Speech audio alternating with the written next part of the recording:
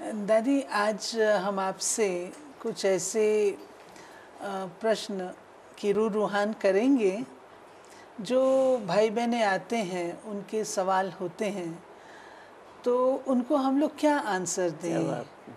तो आपकी तरफ़ से हमें दिशा निर्देश मिलेगा तो वो सब तक पहुंचेगा। तो आज इसी रू रूहान के निमित्त हम लोग थोड़ा सा चर्चा करेंगे। अच्छा लगता है हमको भी। जीवन उच्च विचार कहा जाता है। तो दादी, आपके हिसाब से सादा जीवन हम किसको कहें? सादा जीवन माना पहले तो लक्ष्य जीवन का।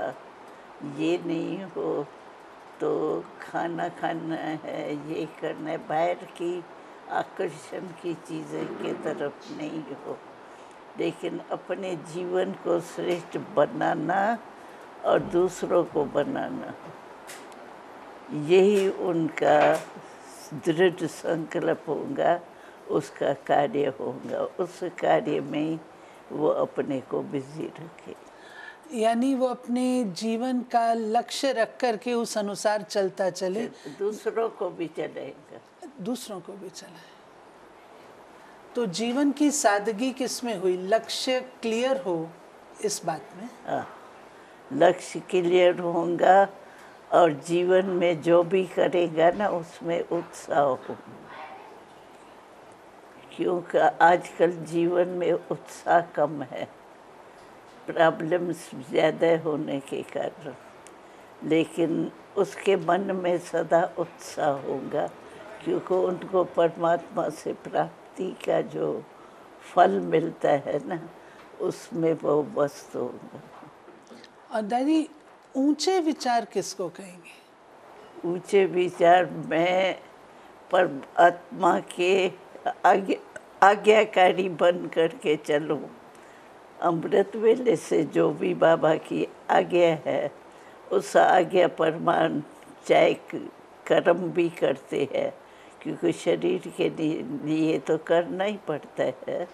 वो भी करे, कर्म योगी भी बने और वैसे भी योगी जीवन का अनुभव करे। कर्म योगी और योगी जीवन ये दो चीज़ें आपने कही। दोनों ही।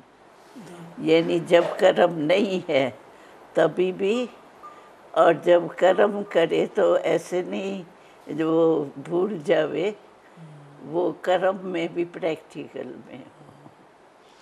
तो नेचुरल है उसके कर्मों पर उसका प्रभाव रहेगा। ऊँचे खुश उनकी निशानी है वो सदा खुश रहेंगे। भले कोई भी परिस्थिति आवे क्योंकि आजकल के दुनिया में परिस्थितियाँ तो है ही है लेकिन वो उस परिस्थिति से न्यारा और प्यारा होकर के परमात्मा का प्यारा रहे। दादी इसमें जैसे हम लोग परिस्थिति आती है मान लो ऑफ़िस में हम लोग काम करते हैं कई ऐसे भाई बहन आते हैं जो कहते हैं हम लोग ऑफ़िस में जाते हैं कई प्रकार की परिस्थितियाँ बातें होती हैं।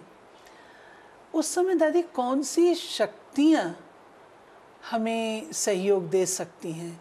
जैसे आजकल का आप वातावरण सुनते हैं ऑफ़िस में बहनों की भी रक्षा नहीं है और टेंशन बहुत होता है तो किन शक्तियों की धारणा हमें मदद करेगी?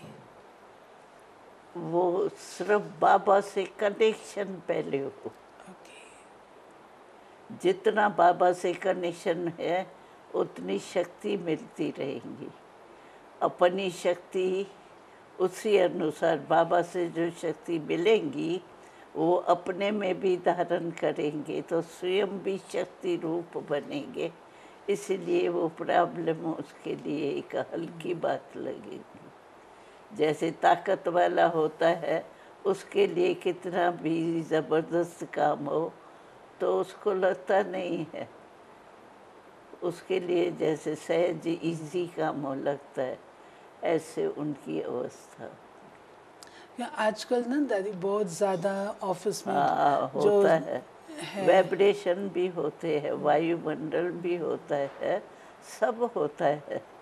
क्योंकि सब एक जैसे विचारों के तो नहीं होते हैं ना। तो होता है, लेकिन उनमें पावर होती है।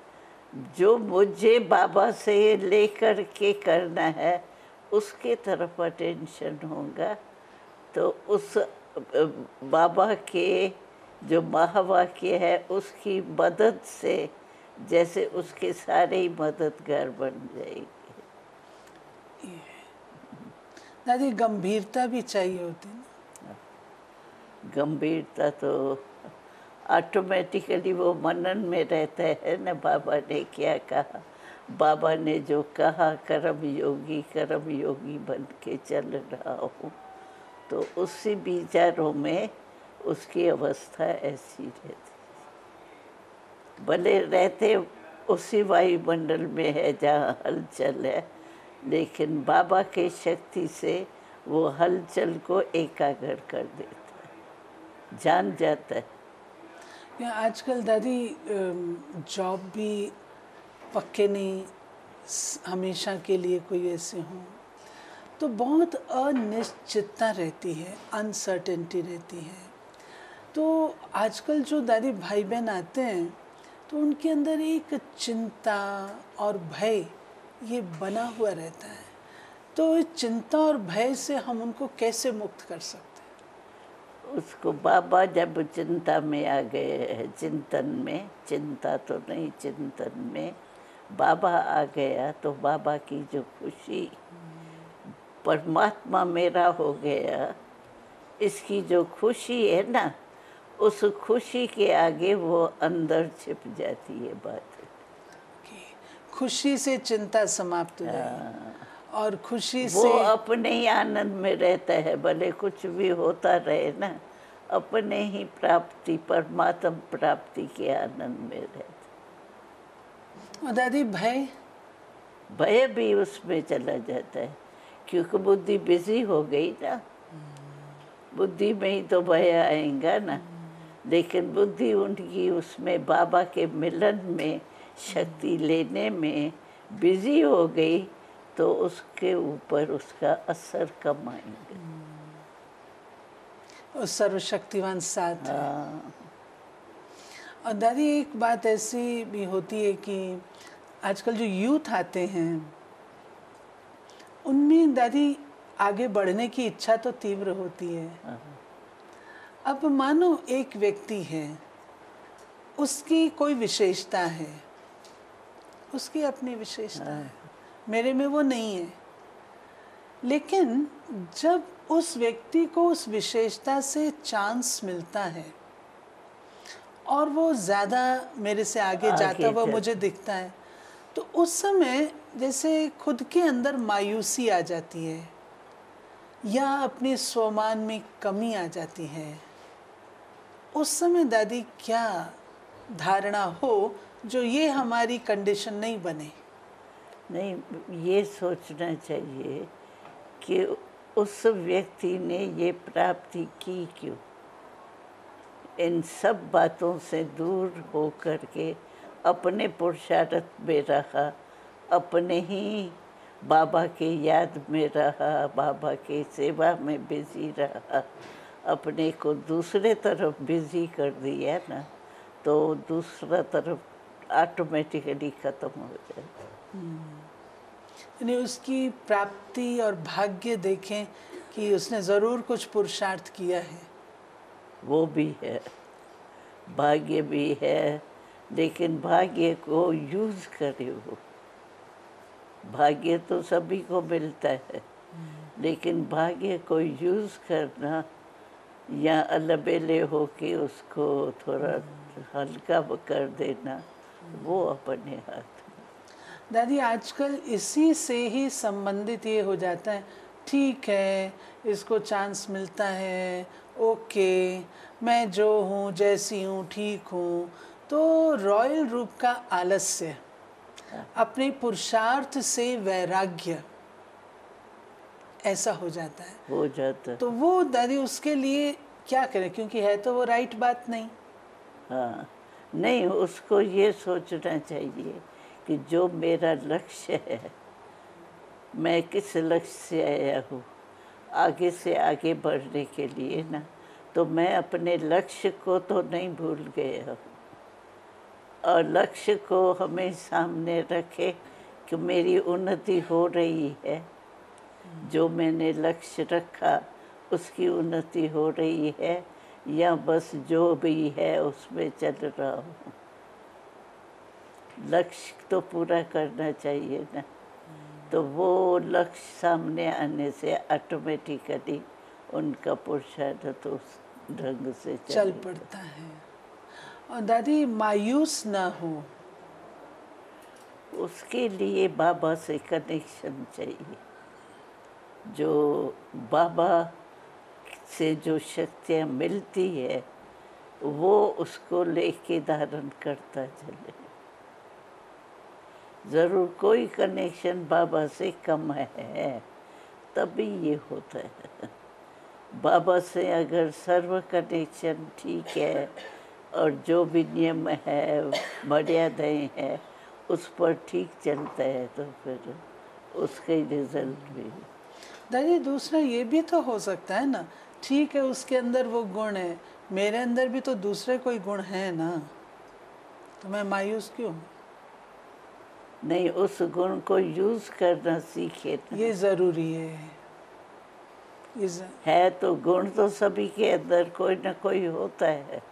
लेकिन उस गुण को जाने और पुरुषार्थ करे उसको प्राप्त करने के लिए जीवन में लाने के लिए वो अटेंशन तो चाहिए। ना लक्ष्य तो चाहिए ना लक्ष्य के बिना थोड़े लक्ष्य रहेंगे तो दादी इन इन बातों में होती तो छोटी छोटी बातें छोटी हैं। बात। है परंतु दादी व्यर्थ संकल्पों का जब तूफ़ान इकट्ठा हो जाता है तो वो जैसे बहुत हलचल में ले आता है। तो व्यर्थ संकल्पों से मुक्त हम हो जाएँ उसका क्या उपाय हो सकता उसका उपाय मुरली के ऊपर अटेंशन बाबा के होमवर्क के ऊपर अटेंशन और बाबा की सर्विस के ऊपर अटेंशन अपने को बिज़ी रखे। बिज़ी रखेगा तो नेचुरल है बिज़ी होने के कारण भी वो प्रभाव नहीं पड़ेगा। बुद्धि को बिज़ी करता है। हाँ, तो बिज़ी रहने से वेस्ट को आने की Natural. बिज़ी राइट तरफ़ हो गई ना तो जो रंग तरफ़ है उस तरफ़ जाने की उसको फुर्सत ही नहीं मिलेगी दादी एक बात और होती है यंग एज में तो आती ही है आगे भी आती है कि किसी ने अगर कुछ कह दिया तो मन को ठेस लग जाती है। और कभी मन को ऐसी ठेस लगती है, जो कि अपने आप को फिर नॉर्मल में ले आना, उसमें बहुत समय लग जाता है।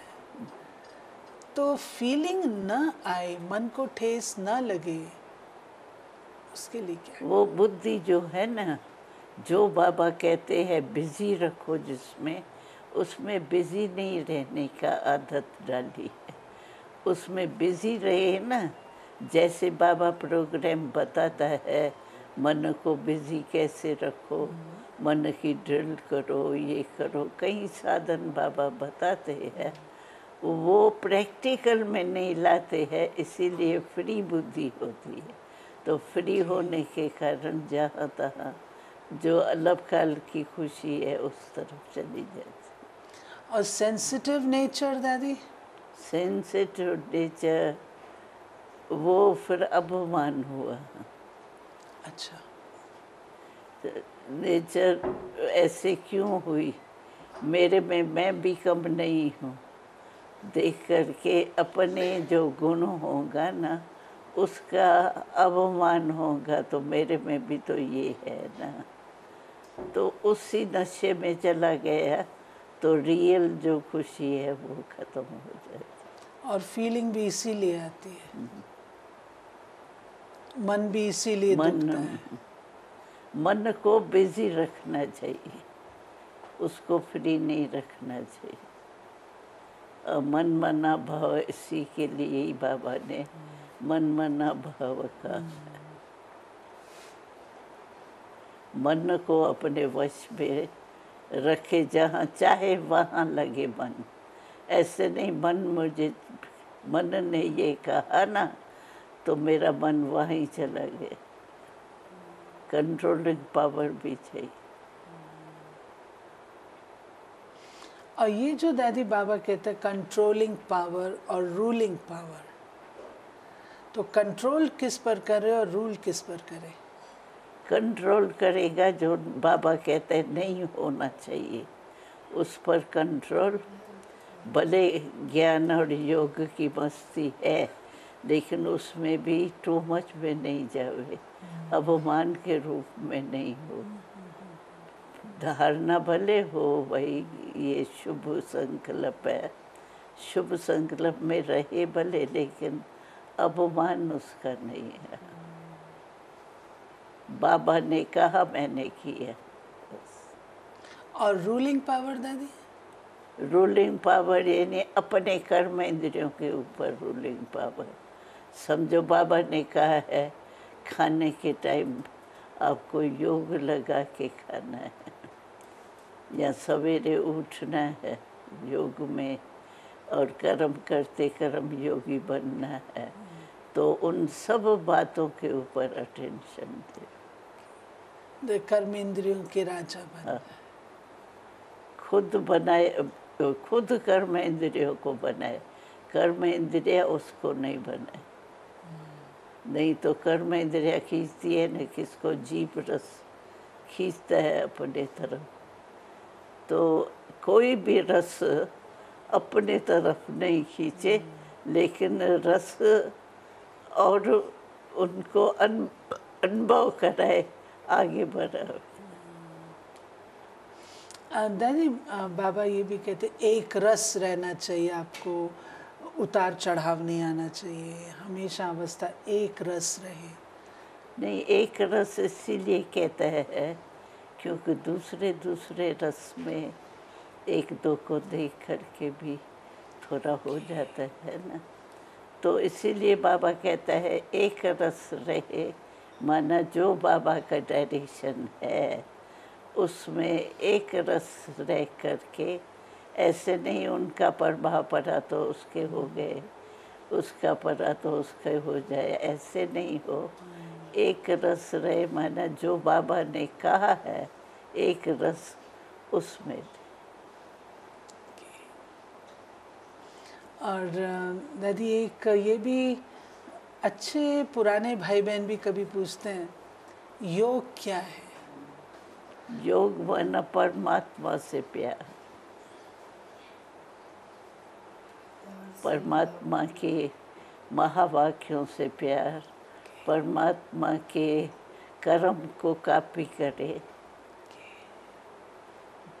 सिर्फ़ योग ये नहीं है, जो कामन कर्म इंद्रियों से हमारी दिनचर्या है, उस पर चलना, लेकिन बाबा जो उस कर्म इंद्रियों को भी कैसे शीतल किया कैसे उससे काम लेते हैं।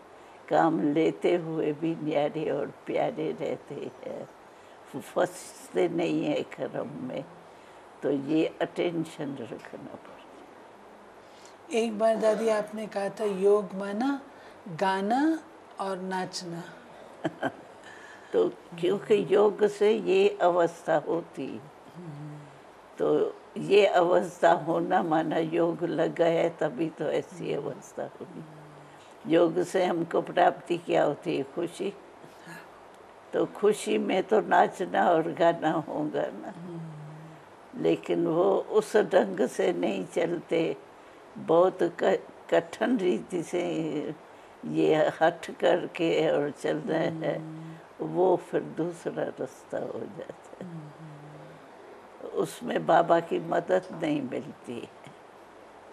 उसमें बाबा की मदद मिलती है तो बाबा की मदद बहुत अनुभव कराती है। बाबा जैसे साथी बन जाता है हमारा। अकेले नहीं है, बाबा कुछ भी होगा, बाबा, ये मैं ठीक कर रही हूँ, बाबा, इसकी रिज़ल्ट क्या? जैसे बाबा हमारा हो गया साथी।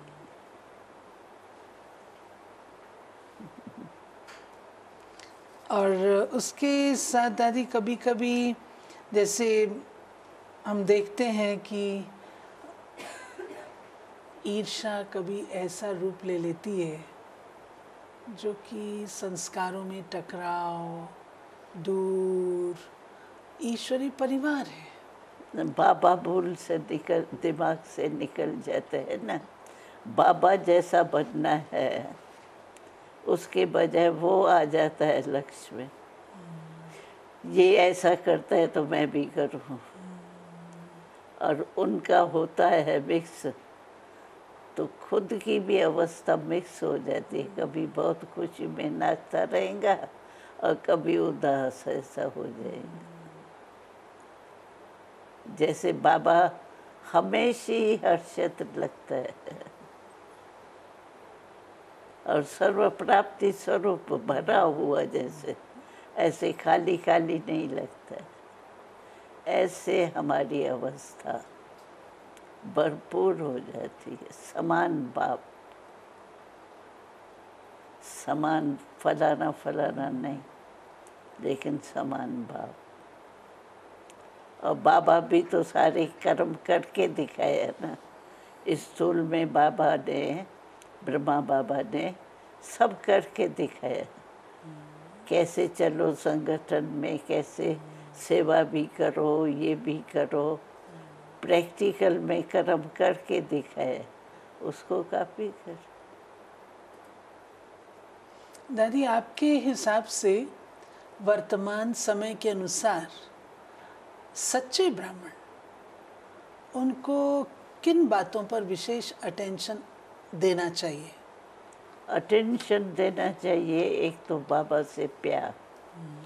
दिल का एकदम बाबा दिल में ऐसा बैठा हो जैसे एक सेकंड भी मेरे दिल से निकलता नहीं बाबा का डायरेक्शन मिलता रहता है और मैं करती जाती। और जो नहीं होता है बाबा से तो फिर जो थोड़ा अपना मिक्स होता है ना संस्कार वो भी काम कर लेते हैं। एक तो मतलब बाबा को हम एक सेकंड भी अलग ना होने दें। लक्ष्य पक्का हो। लक्ष्य पक्का हो। बाबा जैसा बनना है। अच्छा इस बात पर अटेंशन रहे कि बाबा जैसा बनना है। हाँ, बाबा ने क्या किया? कॉपी करना तो सहज है ना। भाई क्या करना है? वो लक्ष्य बुद्धि में नहीं हो तो होना मुश्किल है। लेकिन हमारे सामने तो चैतन लक्ष्य है। बाबा ने ब्रह्मा बाबा ने क्या किया? जीवन में रहा त्याग किया भाग्य पाया सेवा की सबका एग्ज़ाम्पल है। उसको एग्ज़ाम्पल को कॉपी कर। राइट दादियाँ भी एग्ज़ाम्पल हैं। हाँ। हम लोग क्या है उसमें चले जाते हैं पोजीशन जो मिलती है ना उसको स्वीकार करके उसमें थोड़ा मिक्स कर देते हैं अपने जीवन में तो फिर वो रंग हो जाता है। बहुत सूक्ष्म बात है। हाँ। बाबा को कापी तो करना है बाबा जैसा करना है हमको। लेकिन क्या करना है वो भी बुद्धि में हो। बाबा जैसे करना है अच्छा बाबा की तबीयत खराब हुई, बाबा को थोड़ा आराम मिला, हम भी गए। हमारे को तो मिलता ही नहीं है।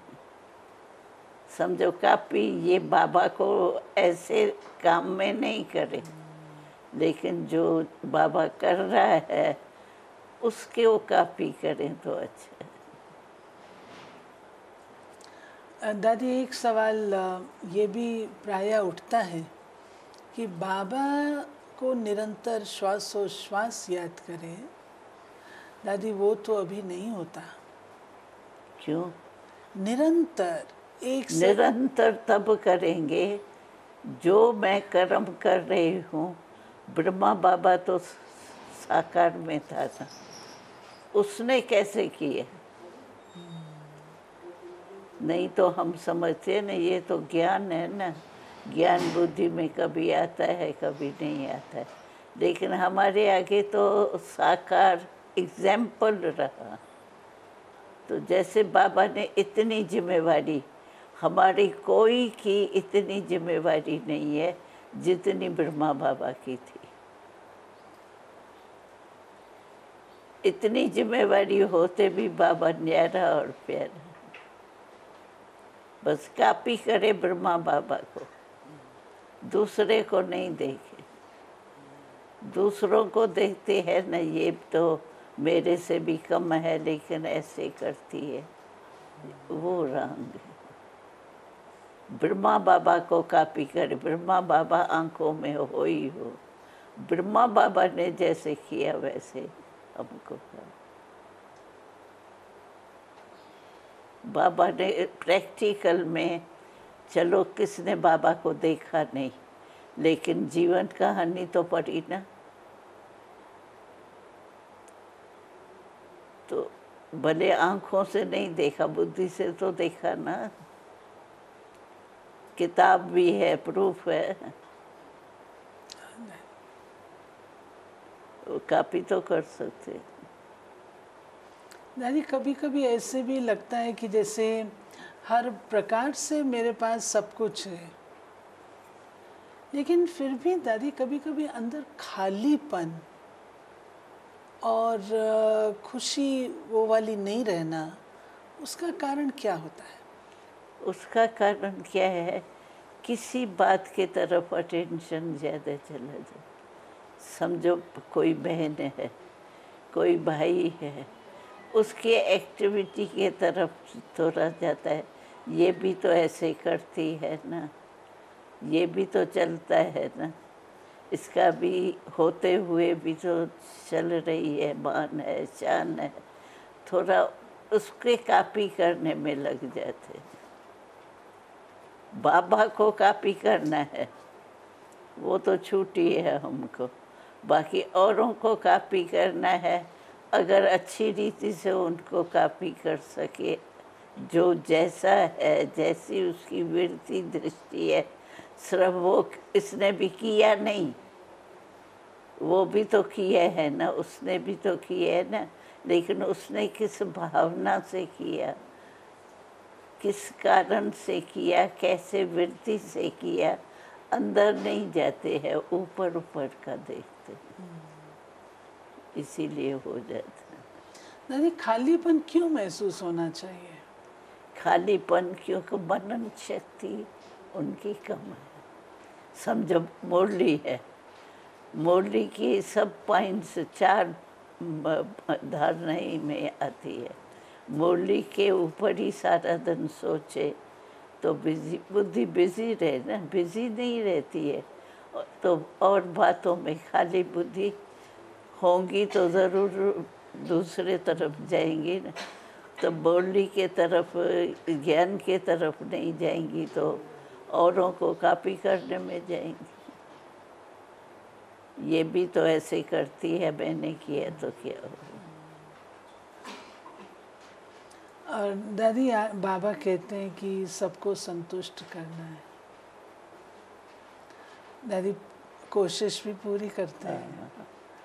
परंतु फिर भी वो सर्टिफिकेट नहीं अभी हम ले पाते उसके लिए दादी बाबा ये तो नहीं कहते कि भाई दूसरे की कमी है मुझको अपने में ही देखना है। हम्म। तो वो क्या चीज़ होती होगी जबकि प्यार भी सबको देते हैं हर प्रकार से वो भी करते हैं। हाँ ये ज़रूर होता है कोई की मानो कोई विशेषता उसको थोड़ा ज़्यादा ध्यान देना पड़ता है तो जो संतुष्टता का हंड्रेड परसेंट होना चाहिए वो ना तो उनसे हमको मिलता है क्योंकि उनसे नहीं मिल रहा तो अपन से भी हम हंड्रेड परसेंट नहीं मिल सकते। तो उसका इलाज क्या है दादी?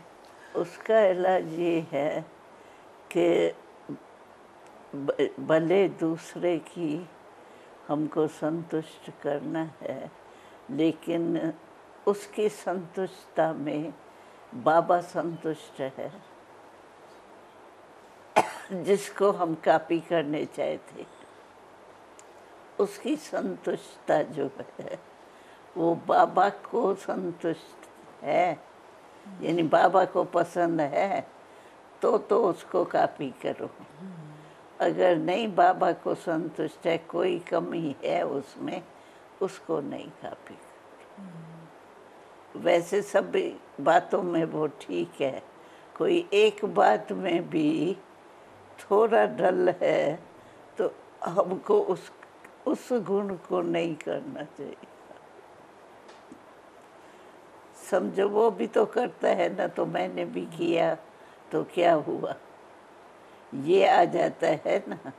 तो ऐसे नहीं, उसकी सभी बातें कोई राइट होंगी, कोई ऐसे भी होंगी। ये चेकिंग चाहिए।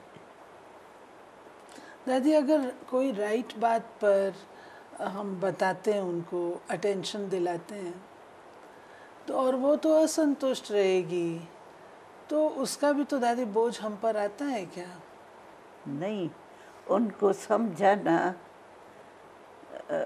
बार बार अटेंशन खिंचवाना चाहिए उसको। लेकिन वो अगर अटेंशन नहीं खींचती है तो उसका प्रभाव हमारे असंतुष्ट है। उसका प्रभाव हमारे ऊपर नहीं होना चाहिए। नहीं आना चाहिए। वो नहीं सोचना चाहिए इसको करूँ ना प्रभावित। लेकिन वो बाबा की मत का नहीं है तो फिर हम जिम्मेवार उसमें नहीं। ओके। भाई ये चाहती नहीं है ना इसलिए मुझे चलना ही पड़ता है उससे। वो नहीं होना चाहिए। बाबा जो चाहता है वो ही करना चाहिए। उसी को उस प्यार से चलाना चाहिए। भाई, मैं आपसे नाराज़ रहती हूँ, वो नहीं। मैं भी चाहती हूँ आप भी हमारे जैसे बन।